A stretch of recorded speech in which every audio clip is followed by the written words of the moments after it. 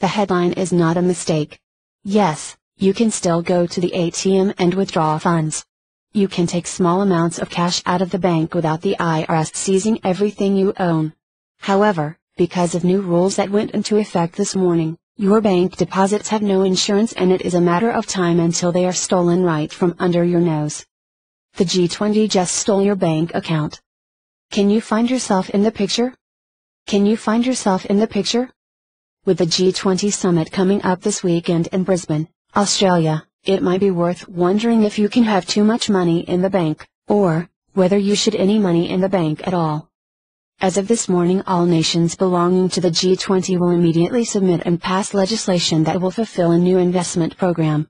This new program creates a whole new paradigm and set of rules whereby banks will no longer recognize your deposits as money. Russell Napier is declaring November 16th as the day money dies, and this constitutes today's Zero Hedge's headline. According to Zero Hedge, Napier says the G20 will announce that bank deposits are just part of commercial banks' capital structure, and also that they are far from the most senior portion of that structure. Pay close attention America this means that following a bank failure, a bank deposit is no longer money in the way a banknote is. This G20 legislation will formally push down bank accounts through the capital structure to a position of being mere material capital risk in any failing institution. In our last financial crisis, Deposits were de facto guaranteed by the state, but beginning November 16 holders of large-scale deposits will be just another creditor fighting to regain their share of the assets of a failed bank, according to Zero Hedge. And how much will your former money be worth when you come to make your claim? For reasons that will become apparent as you weave your way through this article and its conclusions, if you have $100,000 in a bank account, you will take home under $1,200. This is why for the past 18 months I have been telling the nation to not deposit your paycheck into the bank. The prudent thing to do is to only put enough money in the bank to pay your basic bills and do other things with the remainder of the money, such as pay off your mortgage or pay off your car loans. If you have not been doing this, then you are almost out of time for the banksters have recently practiced how to steal your bank account. The Federal Reserve and the Bank of England have already rehearsed the theft of your bank account. Bank holiday to the theft of the people's money has already been rehearsed by the powers that be in the banking industry. Regulators from the United States and the United Kingdom got together in a war room to see how they will cope when the next big bank fails.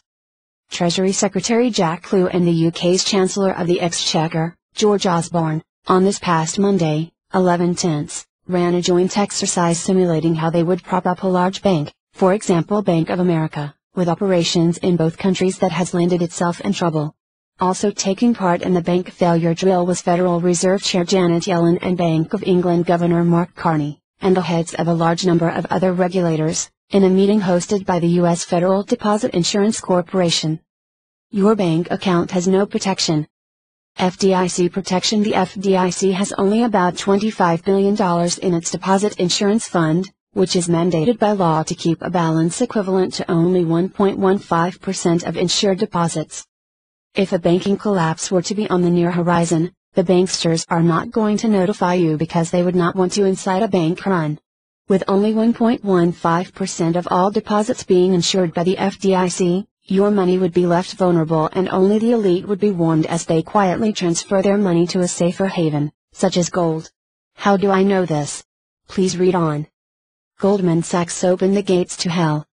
Silver prices have dropped dramatically covering an aggregate period of 18 months. Panic selling dominated the market as investors and financial institutions could not dump their holdings of silver and gold fast enough. The market clearly shows signs of mass manipulation by the globalists. The globalists have been moving their fiat currency holdings to gold since the spring of 2013. The price of gold was artificially manipulated by Goldman Sachs to drive down the price of gold in order to make it cheaper for the powers that be to purchase gold cheaply. You see, they know that very soon, there will no money left in the banks. You want proof? The best proof that the globalists are manipulating the price of gold comes from Goldman Sachs, who, in the spring of 2013, told there that they recommend initiating a short COMEX gold position. This has been going on for over 18 months. Goldman and plutocrats. Please remember that this is the same Goldman Sachs that shorted its stocks on September 11. This is the same Goldman Sachs that placed put options on Transocean stock the morning of the Gulf oil explosion. This is the same Goldman Sachs that got caught shorting the housing market in advance of the housing bubble burst. Basically, when Goldman Sachs starts shorting anything, we should all become apprehensive particularly if our individual investments are anywhere in the neighborhood of the commodities being impacted by shorting. When Goldman Sachs begins to short anything, it is time to take your money and run for the hills. That time would be now. Why would Goldman Sachs dramatically drive the price of gold down? Beside trading and bartering, if the dollar and the euro were to collapse tomorrow, what currency of exchange would be left standing? The obvious and simple answer would be primarily, gold, and secondarily, silver. Ask yourself this question, if you knew that paper monies all around the world were to collapse, what action would represent your best option? The obvious answer would be to dramatically drive down the price of gold and silver if one had the ability to do so, and then buy as much as gold as one possibly could. Goldman Sachs has the ability to do so by utilizing their ominous shorting strategy and it is precisely what they have done. One more dot to connect.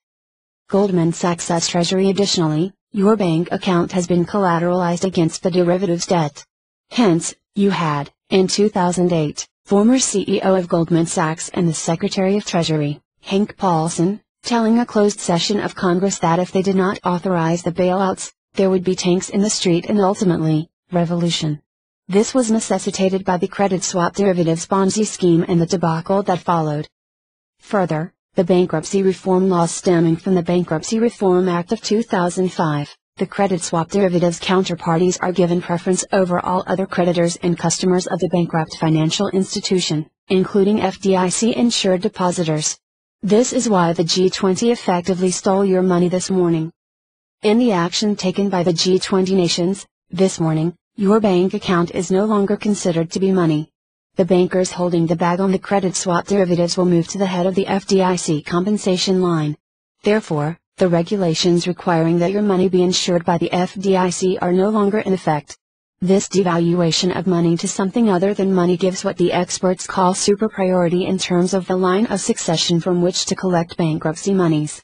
Take your money out of the bank, but do not do so until you read my next article because you could go to jail if you make a mistake. Banksters A. To make matters worse, Bank of America has conspicuously commingled their credit swap derivatives debt with your savings account and as such they have every legal right to use your money to cover their debt. The derivatives debt is conservatively estimated to be $1 quadrillion which is about 16 times the entire GDP of the planet. Even before today, your money is as good as gone.